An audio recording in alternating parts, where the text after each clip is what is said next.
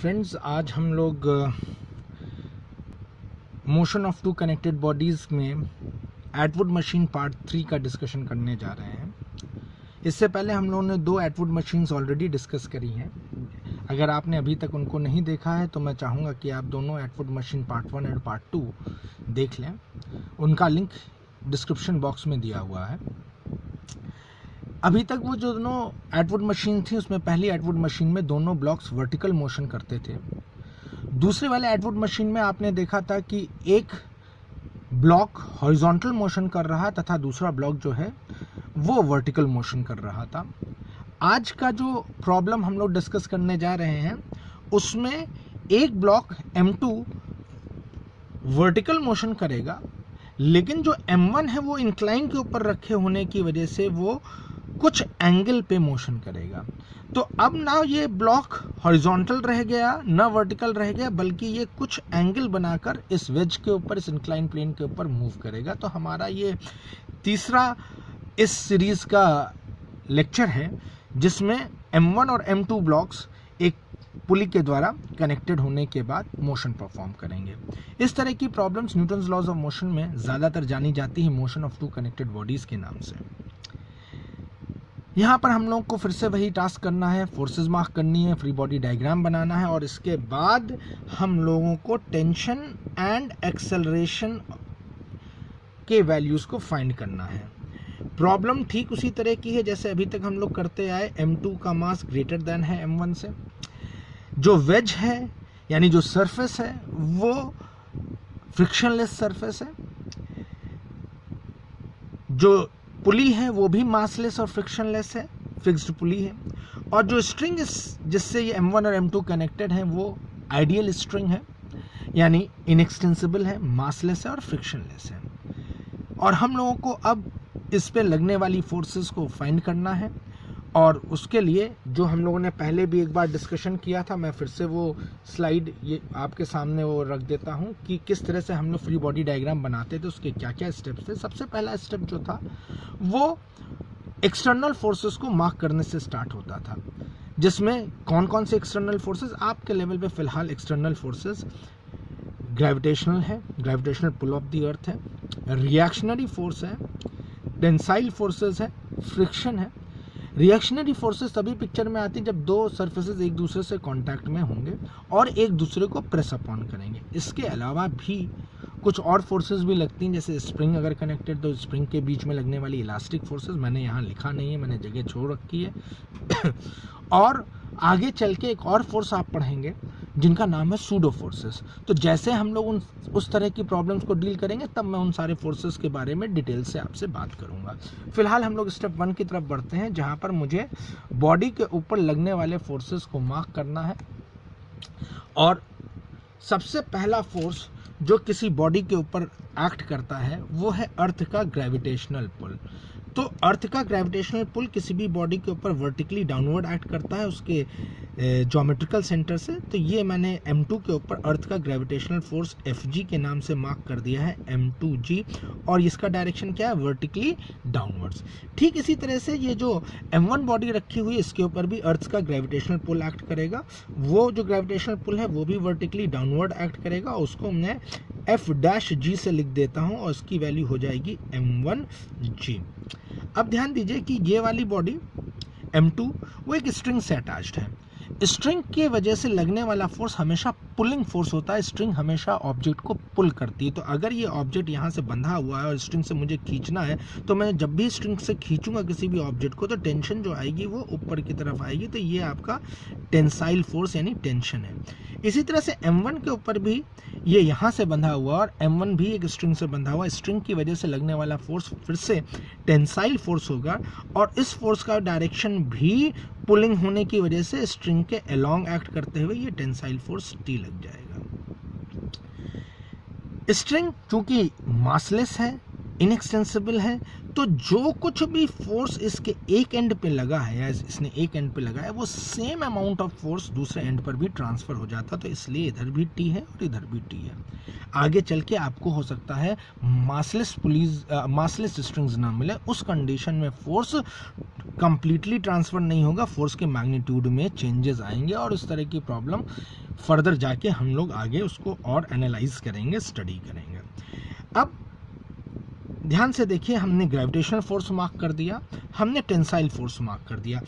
Body ideal system में थी, इसलिए फ्रिक्शन नहीं मौजूद था, इसलिए फ्रिक्शनल फोर्सेस एबसेंट है, हमने मार्क नहीं किए। अब, क्या कोई दो सरफेसेस एक दूसरे के साथ कांटेक्ट में है? क्या कोई एक सरफेस दूसरे सरफेस को प्रेस करता है? एम टू देखिए, किसी भी सरफेस के साथ कांटेक्ट में नहीं है, इसलिए इसके बीच में किसी भी तरह का रिएक्शनरी फोर्स या रिएक्शनरी बल नहीं लगेगा। लेकिन M1 जो है, वो एक सरफेस के साथ कांटेक्ट में रखा हुआ है।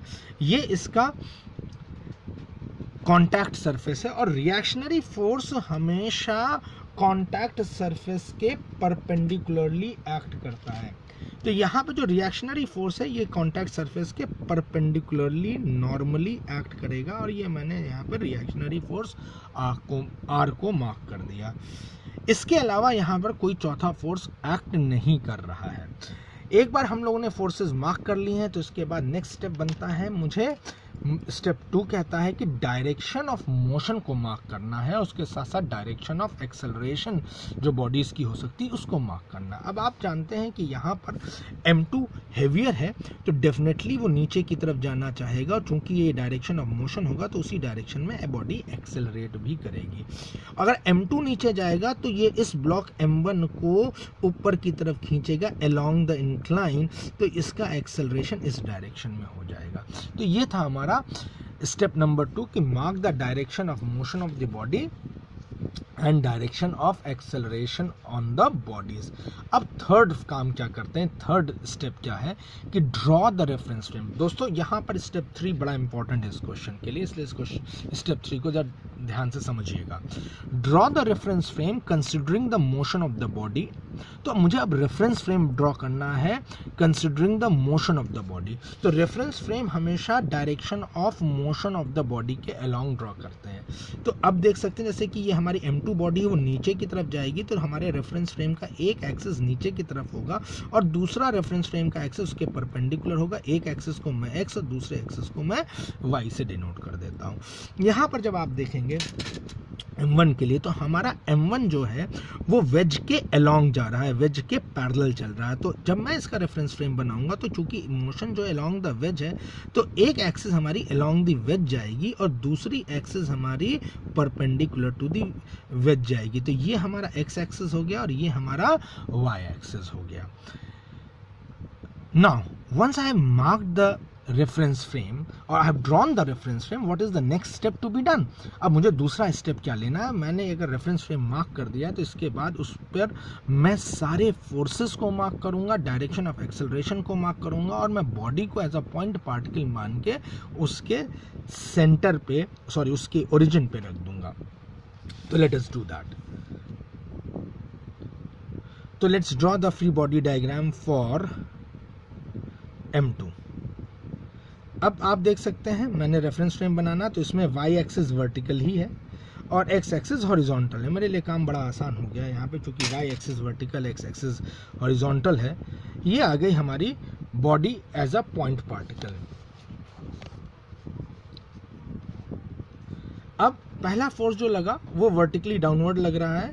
एम टू जी ये मैंने मार्क कर दिया है पहला फोर्स बॉडी के बॉडी से एम टू जी और बॉडी के ऊपर दूसरा फोर्स जो लग रहा है टेंशन फोर्स वो ऊपर की तरफ़ लग रहा है, जिसको मैंने टी से इंडिकेट कर रखा और बॉडी का एक्सेलरेशन डाउनवर्ड है, उसको मैंने ए से लिख दिया है।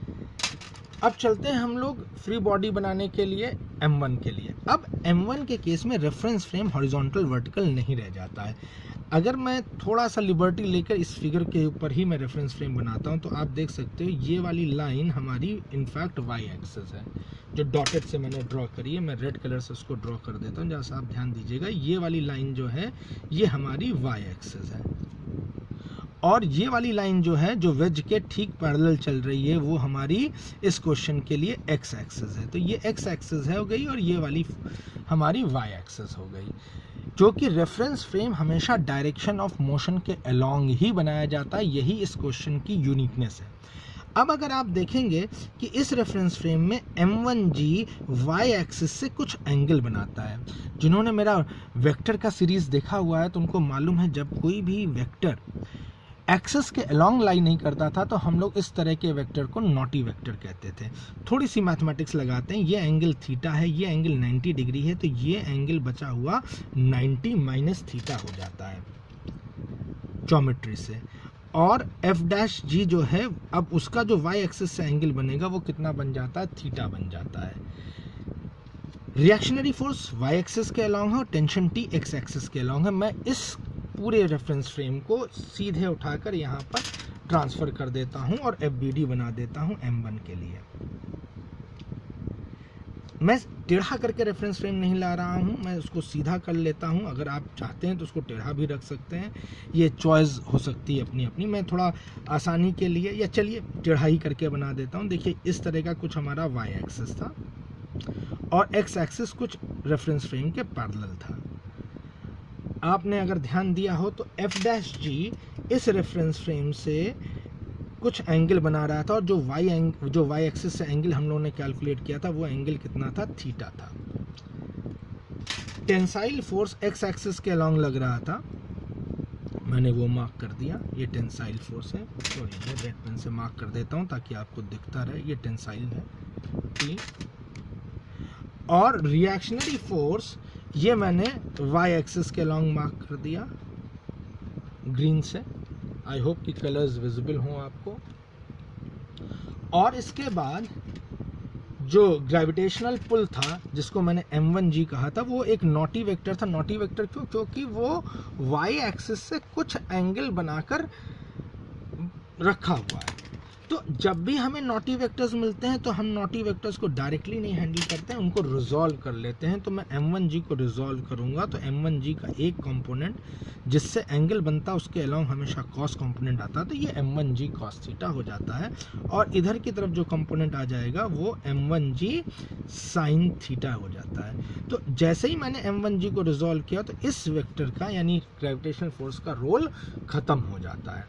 अब स्टेप नंबर थ्री मेरे पास कंप्लीट हो गया। तो स्टेप फोर क्या कहता है? जरा उसको जल्दी से देख लेते हैं। ये कहता है कि frame the equation of motion along both the axes that is X axes and Y axes and solve them simultaneously तो अब हम लोग इस क्वेश्चन में इन इक्वेशन ऑफ़ मोशन को बनाते हैं और फिर इसको सॉल्व करते हैं साइमल्टेनियसली चलिए देखिए।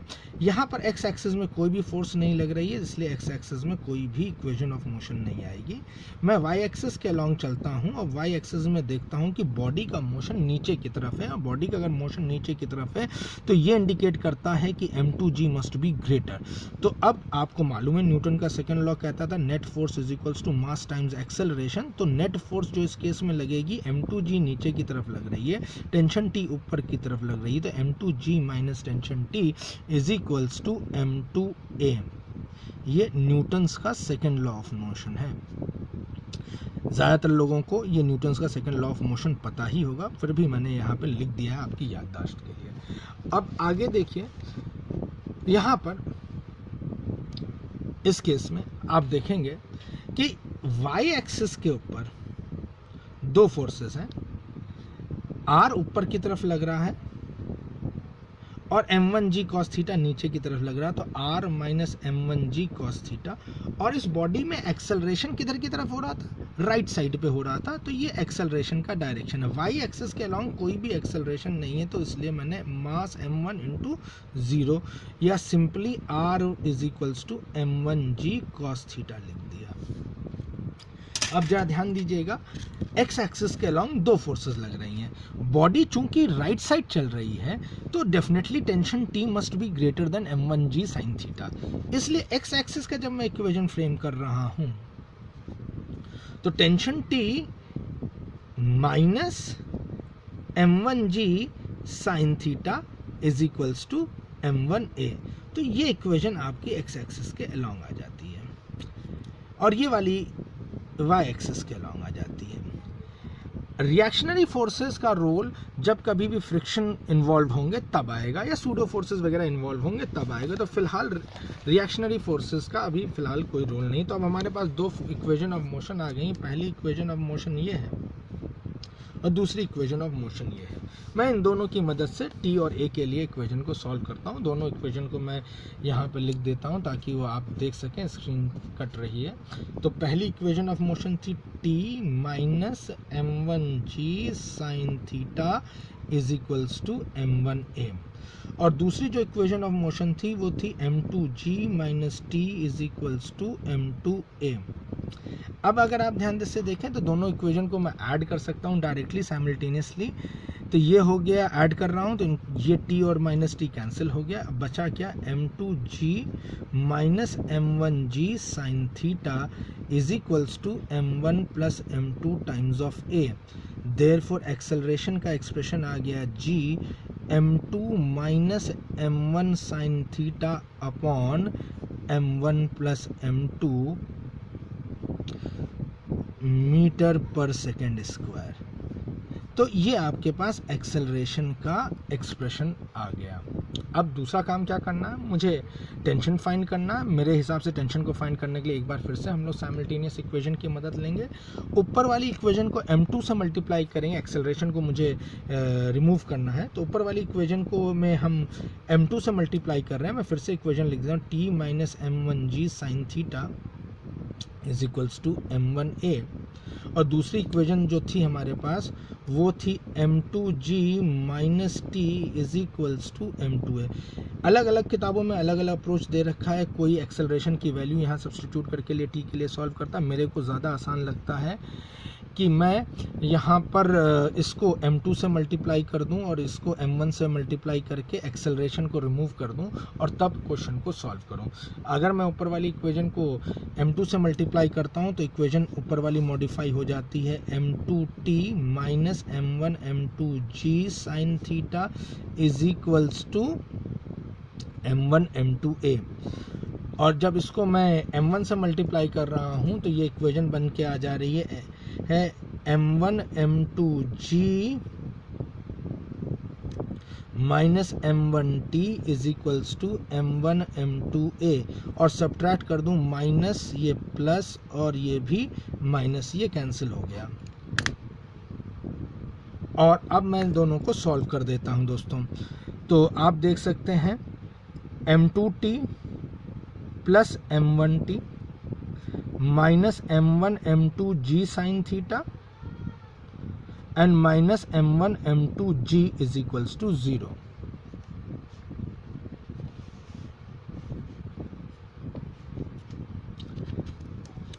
T common ले लेता हूँ, यहाँ से एम वन प्लस एम आ जाता है, पूरी चीज़ों को इधर लेफ़्ट की तरफ़ ट्रांसफ़र कर देता हूँ M one M two G common है, उसको निकाल लेता हूँ one plus sine theta therefore, t is equals to m1 m2g 1 plus sin theta upon m1 plus m2 Newton तो ये टेंशन का एक्सप्रेशन आ जाता है एटवुड मशीन में पार्ट टू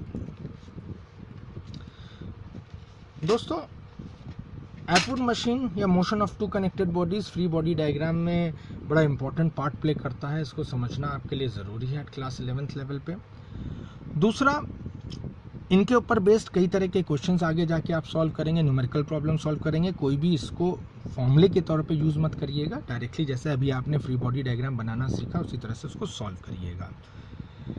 दोस्तों, अगर आपको मेरा वीडियो अच्छा लगा हो तो don't forget to like subscribe and share और कोई भी प्रॉब्लम इसके अलावा आपको इसमें लगती है तो please feel free to comment on to this video नीचे कमेंट्स में ज़रूर लिखिएगा। और किसी तरह के क्वेश्चंस को अगर आप चाहते हैं जानना, समझना तो प्लीज़ कमेंट्स में अपने मेंशन ज़रूर करिएगा। Thank you